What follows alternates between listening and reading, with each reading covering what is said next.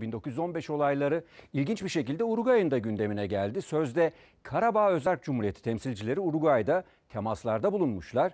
1915 olayları ile ilgili anma programlarına katılmışlar. İşte tam da bu nedenle Azerbaycan Uruguay'a nota verdi. Azerbaycan Milletvekili Musa Kasımlı bugün Bakü'de yayın konuğumuz olacak. Dönelim Fatih Avanos'a. Hem bu notanın içeriğini hem Uruguay'da neler yaşandığını senden alalım. Musa Kasımlı'dan da değerlendirmelerini alacağız. 1915 olaylarına ilişkin Ermenilerin sözde iddialarının yankıları sürüyor. Aslında yankılarla birlikte tepkiler de çığ gibi büyümeye başladı. Dün akşam saatlerinde Azerbaycan'dan Uruguay'a bir nota verildi. Neydi bunun ayrıntıları? Azerbaycan Dışişleri Bakanlığı'ndan bir açıklama yapıldı ve açıklamada e, sözde Azerbaycan topraklarının işgal altındaki kısımlarında kurulan sözde Dağlık Karabağ yönetiminin kondurma Dışişleri Bakanı bu tabir kullanıldı. Kondurma Dışişleri Bakanı'nın Uruguay'a gittiği ve orada temaslarda bulunduğunu belirlemiş bulunmaktayız. Ve buradaki temaslarında hiçbir Uruguay hükümeti yetkilileri tarafından kabul edilmediğini de görmüş bulunmaktayız. Ancak Uruguay Meclis Başkanı e, kim ismi Luzia Topalonski. Luzia Topalonski tarafından bir görüşme gerçekleştirildi, kabul edildi ve Uruguay Meclisi'nde de sözde soykırım, soykırımla ilgili Ermenilerin oradaki tebaalarıyla birlikte düzenlenen etkinliklere katıldığı ifade edildi. İşte bu rahatsızlık da Ar- Arjantin'de bulunan Azerbaycan'ın Büyükelçiliği vasıtasıyla Uruguay Dışişleri Bakanlığı'na iletildi. Ur- Uruguay Dışişleri Bakanlığı da notaya cevap verdi. Ne diyor notanın cevabında? Uruguay devleti ve hükümeti sahip olduğu konumu, pozisyonu hiçbir şekilde değiştirmemiştir diyor. Ne demek istiyor aslında? Bu sözde e, Ermeni iddiaları, soykırım iddiaları ne zaman başlamıştı? 20 Nisan 1965'te ilk olarak Uruguay Meclisi'ne ve Senatosu'na gelmişti bu karar ve ilk olarak da Uruguay'da bu karar alınmıştı ve o günden bugün 55 yıl geçti neredeyse ve hala diğer ülkelerde de bu sirayet etti. Tepkiler devam ediyor, görüşmeler devam ediyor. Konuyu e, Azerbaycan parlamentosundan milletvekili Musa Kasımlı ile görüşeceğiz. Azerbaycan hükümetinin tavrını ve ne demek istediğini ve kendisinin gelişmeleri nasıl değerlendirdiğini soracağız. Efendim yerimize hoş geldiniz. Hoş gördük. Siz neler söyleyeceksiniz? Azerbaycan'dan Uruguay'a bir nota geldi. İddialar gündemde. Türkiye'den de Fransa'ya sert bir açıklama geldi. Neler söyleyeceksiniz Sayın Vekilim? Burada her şey göz önündədir. Ermənistan Azərbaycana hərbi təcavüz edib.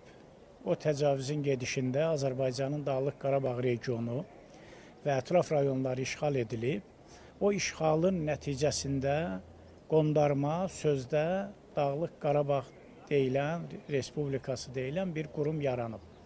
Onun heç bir təməli yoxdur. Və belə bir şəraitdə bir çox dövlətlərdə ikili standartlar var. Nədir o ikili standartlar? Bugün təcavüzkar və təcavüzə məruz qalan ölkə aydındır, məlumdur. Təcavüzkar Ermənistandır, təcavüzə məruz qalan isə Azərbaycandır, əraziləri işğal edilən Azərbaycanlılardır, Azərbaycandır. Belə bir şəraitdə Dünya Birliyinin ölkələri bir mənalı mövqe ortaya qoymalıdırlar. O mövqenin də təməlində nə durmalıdır? Ölkələrin ərazi bütövlüyü və sərhədlərinin toxunulmazlığı. Çünki bunlar, bu prinsiplər BMT nizamnaməsində və ATƏT yekun aktında öz əksini tapıb və dövlətlər də bunu imzalayıblar. Yəni dövlətin sözü, mövqeyi onun imzasıdır. Buna riayət etməlidirlər. Amma təəssüf ki, bunu etmirlər və etmədikcə də bu münaqişənin həllində nə qədər gərginlik davam eləyəcəksə, məsuliyyət eyni zamanda bu hərəkətləri, davranışları edən ölkələrin üzərinə düşəcək. Ona görə də mən hesab eləyirəm ki, bizim Xarici İşlər Nazirliyinin e, Uruguaya verdiyi nota tamamilə yerindədir, bir mənalıdır və Uruguay e, bu hərəkətlərindən çəkinməlidir. Efendim bu arada araya gireceğim. 1944'te işte Ahıska Türkleri olsun, Kırım Türkleri olsun aynı şekilde onlar da e, Kazakistan'a, Sibirya'ya e, gönderildi diyelim. Ee, daha 25 yıl önce Fransa'nın Afrika'da yaptıkları ortada. Amerikalıların e, Kızılderililere yaptıkları ortada. Ne amaçlanmak istiyor bilmiyorum ama siz Türkiye Cumhuriyeti'nin parlamento üyeleriyle birlikte beraber bir Latin Amerika turu mu yaparsınız? Oradaki yani bize en uzak ülke, bizi en az tanıyan e, ülkeler grubu o bölge. Neler yapılabilir sizce? E, karşı atak anlamında biz neler yapmalıyız sizce? Bilirsiniz necədir? Türkiyə öz arxivlərini açıb. Azərbaycanda da arxivlər açıqdır. Əgər ermənilər deyirlər ki, soyqırım olub, Əslində bu soyqırım olmayıb. Bunun heç bir tarixi, faktoloji əsası yoxdur. Sırf siyasi məqsədlər üçün uydurulub. Bəzi böyük dövlətlər Osmanlıya və sonra Türkiyəyə qarşı bunun diplomatik sənədləri var. O nədən ibarətdir? Çox sadə yolları var bunun. Türk tarixçiləri, Azərbaycan tarixçiləri və dünyanın bir çox ölkələrinin tarixçiləri birlikdə bu sahədə çalışa bilərlər. Rusiya arxivlərini mən çalışmışam, Gürcüstan arxivlərini də. Hələ mən Türkiyə, Azərbaycan və digərlərini söyləmirəm. Ən gözəl mənbələr Rusiya arxivlərindədir. O sənədlər Os- Osmanlının işğal altında olan torpaqlarından generalların yazdığı raporlardır. Orada bütün bu şeylərin törədildiyinin ermənilər tərəfindən edildiyi göstərilir. Ayrı-ayrı simpoziumlar keçirilə bilər. e, mə- Məruzələr çap oluna bilər, sənədlər çap oluna bilər və ən mötəbər sənədlər məsələn Şərqi Anadolu ilə bağlı nədir?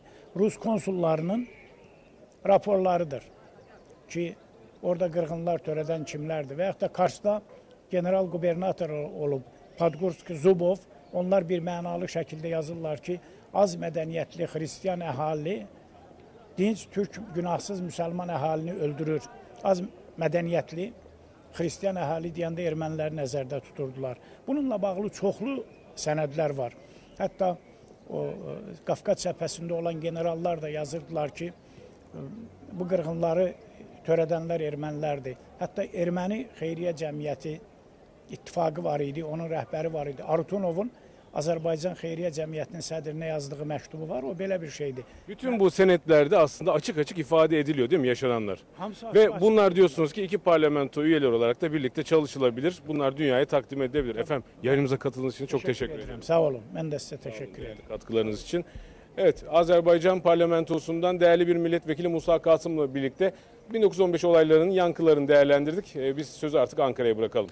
Fatih Avanos aktardı. Azerbaycan'ın Uruguay'a verdiği notanın ayrıntılarını Azerbaycan Milletvekili Musa Kasımlı da Avrasya gündemi için bu notayı değerlendirdi.